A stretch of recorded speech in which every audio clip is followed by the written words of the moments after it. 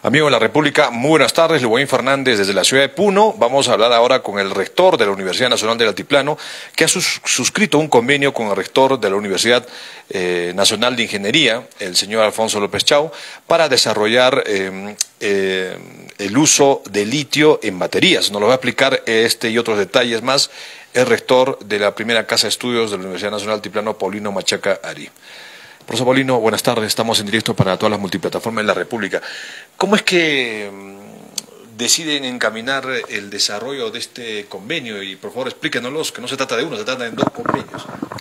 Sí, la Universidad Nacional del Altiplano ha suscrito convenios muy importantes con las principales universidades del Perú y las principales universidades del mundo, con la finalidad de lograr la acreditación y también la mejora de la formación profesional y promover la investigación científica multidisciplinaria. En ese sentido, el día de ayer, lunes 27 de marzo, la Universidad Nacional ha dado el inicio del año académico 2023-1 con la visita del señor rector de la Universidad Nacional de Ingeniería, el doctor Pablo Alfonso López Chao. Allí suscribimos un importante convenio para elaborar proyectos de investigación para la fabricación de baterías eh, eléctricos, para vehículos eléctricos, para computadoras eh, portátiles, dando uso de esta reserva del litio, del mineral que cuenta la región de Puno, y también se ha suscrito un convenio con la municipalidad de Corani y Carabaya, este convenio a fin de que podamos viabilizar la fabricación de baterías de litio para carros eléctricos como una propuesta de la Universidad Nacional del Altiplano y también que esta reserva minera quede para la comunidad que beneficie, beneficia a la región de Puno, beneficia al pueblo del peruano y no beneficie a otros países como está ocurriendo con el tema del gas o la energía eléctrica. Ahora, hay una inquietud.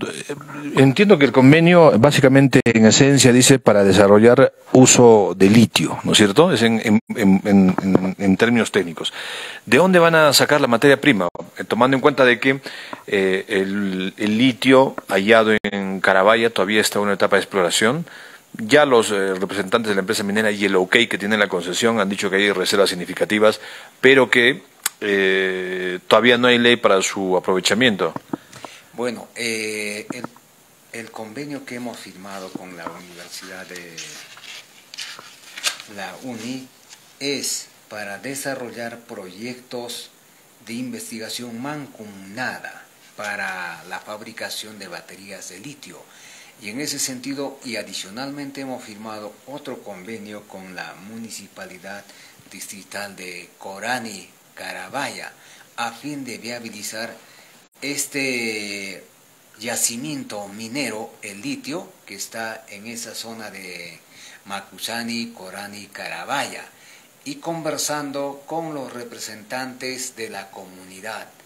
De ahí que como Universidad Nacional de la nosotros vamos a propiciar la capacitación, la asistencia técnica y la especialización de los profesionales para que puedan explorar y este mineral beneficie a la comunidad, beneficie a Puno y beneficie al Perú, decía, y no ocurra como los otros eh, empresas mineras que extraen mineral y se lo lleva en beneficio de las transnacionales. Perfecto, pero hay un detalle. Eh, la, la, Universidad, Nacional de Ingenierías va a poner, entiendo, sus técnicos, ¿no es cierto?, en, este, en este convenio y el municipio distrital de Corani va a hacer que, digamos, la ejecución de este convenio, digamos, suponga que se puedan trasladar a la zona. Pero, repito, el, litio todavía está con, en, exploración. ¿Cómo harían para la materia prima? Sí, nosotros vamos a hacer, digamos, la visita en sitio a la zona de Macusani, Corani, Carabaya. Tenemos que reunir con los mismos comuneros porque la Universidad Nacional del Altiplano es una universidad que está al servicio de la educación de los hijos del pueblo de la región de Puno.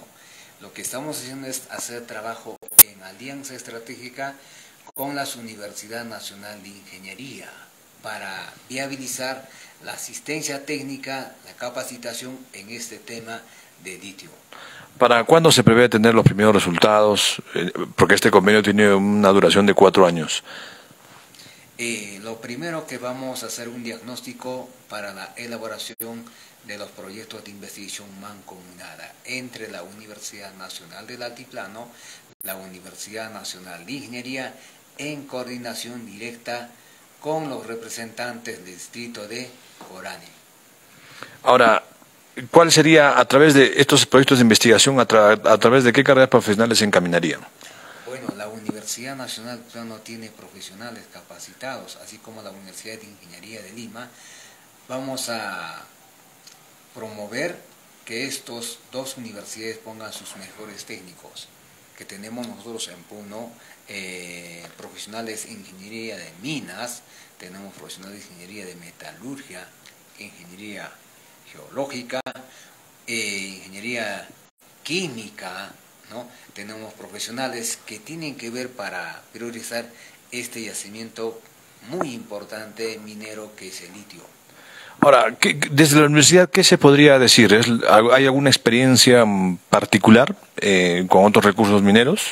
Sí, nosotros en la pasantía de docentes, nuestros docentes de la Universidad Nacional Plano han salido a otras universidades del mundo. Por ejemplo, estaban en Bolivia, allí como están industrializando este recurso muy importante en litio, como también a otras universidades del mundo donde son pioneros en el tema del litio.